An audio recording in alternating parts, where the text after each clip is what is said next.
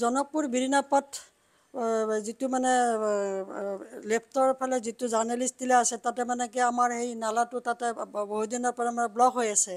হা তাৰপিছত এতিয়া মানে কি আহ, বানপা যিটো মানে যি মানে দুই তিনিদিন ধাৰাসাৰে মানে নেৰানেপেৰা বৰষুণ আহি আছে তাৰ ফলত মানে আমাৰ সকলো মানে বাসিন্দা মানে গৃহবন্দী হৈ আছে। গতিকে কোনোফালে যাব চলাচল কৰিব পৰা কোনো সুবিধা নাই। সেয়েহে আপোনালোকক বিনম্ৰ অনুৰোধ কৰিছোঁ। যাতে সোনকালে যাতে ইয়াৰে যাতে ব্যৱস্থা এটা লয় আৰু। মহানগৰবাসীৰ বাবে এতিয়া যেন বৰষুণৰ আন এটা নাম আতংক হৈ পৰিছে। কাৰণ বৰষুণ দিলে কৃত্ৰিম বানৰ সৃষ্টি হ'ব আৰু কৃত্ৰিম বানৰ সৃষ্টি হ'লেই গুৱাহাটী মহানগৰীত এক প্ৰকাৰ আতংকময় পৰিৱেশ।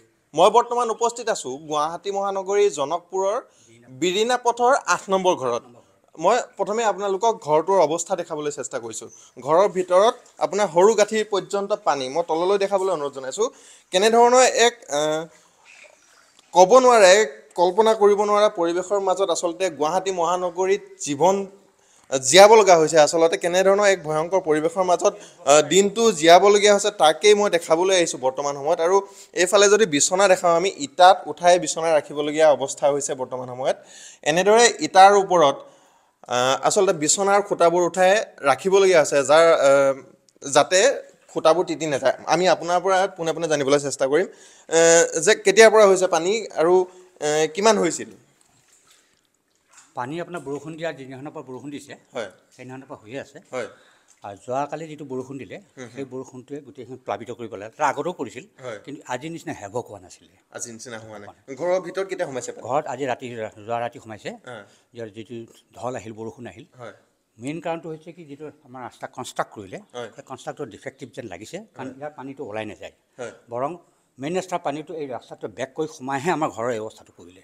এতিয়া ৰাস্তাটো পানী ওলোৱা সোমোৱা কৰিব পৰা নাছিল এতিয়া ৰাস্তাটো পানীটো ওৰা সোমাব পৰা অৱস্থা নাই এই কাৰণে যিহেতু মেইন ৰাস্তাটোত নলাত অভাৰলোড পানী আছে এই ইয়াৰ পানীটো গৈ তাত ওলাই উলিয়াই নিব নোৱাৰে। বিজ্ঞানসন্মত নহ'ল বিজ্ঞানসন্মত কথাটো নহ'ল। নতুনকৈ কনষ্ট্ৰাকশ্যন হাফ কনষ্ট্ৰাকশ্যন কৰি তেনেকৈ থৈ গুচি গ'ল। এতিয়া আপোনাৰ ইঞ্জিনিয়াৰক মাতি থাকিলেও নাহে ঠিকাদাৰটো দেখাই নিদিলে। আগৰ বছৰত পানী হয়নে আগৰ বছৰত পানী হৈছিল হৈছিল যদিও আপোনাৰ হেৰি হৈছিলে। তেতিয়া আমি ইয়াতকৈ মিউনিচিপেল কমকৈ হয়। কম কম ৰাস্তাত পানীটো থাকে ভিতৰলৈ নোসোমায় তেতিয়া আমি মানে মিউনিচিপেলিটি পাম্পৰ থ্ৰুৱেদি আমি পানীটো আউট কৰি দিছিলোঁ। অন্ততঃ মানুহখিনি এনেকুৱা এইখিনি এই অৱস্থাটো বাচি গৈছিল। এতিয়া ৰাস্তা কনষ্ট্ৰাকশ্যন কৰাৰ পিছতহে আমাৰ এইটো দূৰ হেভকটো বেছি হ'ল। মই পুনৰবাৰ পৰিস্থিতি দেখাবলৈ চেষ্টা কৰিছোঁ। আচলতে কেনেধৰণৰ এক ভয়ংকৰ পৰিস্থিতি। গোটেই ঘৰটোৰ ভিতৰত সৰু গাঁঠিৰ ওপৰ পৰ্যন্ত পানী আৰু এনেদৰে জীৱন জীয়াবলগীয়া হৈছে বৰ্তমান সময়তে। যিসমূহ জনকপুৰৰ বিৰিণা পথৰ যিসমূহ বাসিন্দা আছে কেৱল এটা ঘৰত বুলি নহয় বহুকেইটা ঘৰতে ইতিমধ্যে পানী সোমাইছে আৰু আজিৰ দিনটোত বুলি নহয় হয়তো কালিৰ পৰাই সোমাইছে নহয় জানো? কালিৰ পৰাই আচলতে এনেধৰণে পানীৰ লগতে এক প্ৰকাৰ সহবাস কৰিবলগীয়া হৈছে।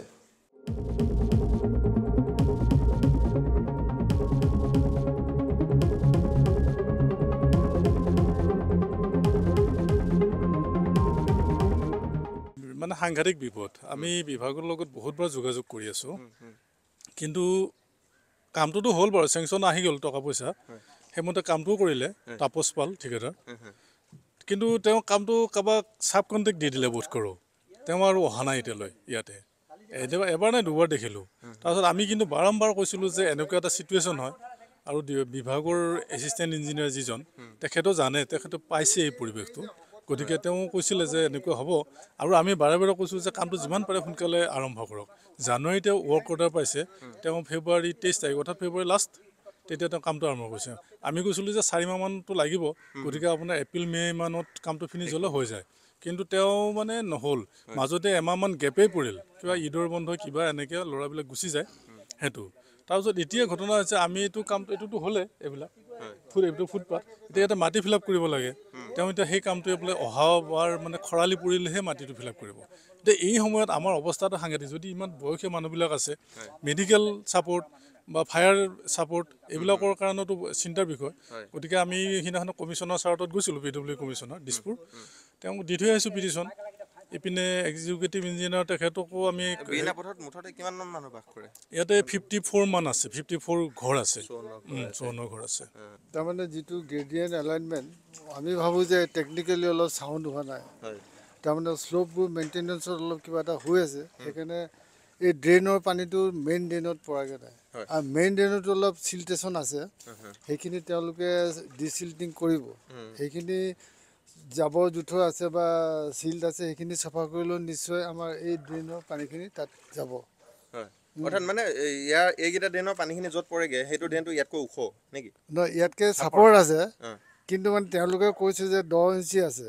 কিন্তু দহ ইঞ্চি থাকিলেওতো পানীটো যাব লাগিছিলে ভাল ধৰণে। ফ্লুৱেণ্টলি যোৱা নাই। যোৱা নাই।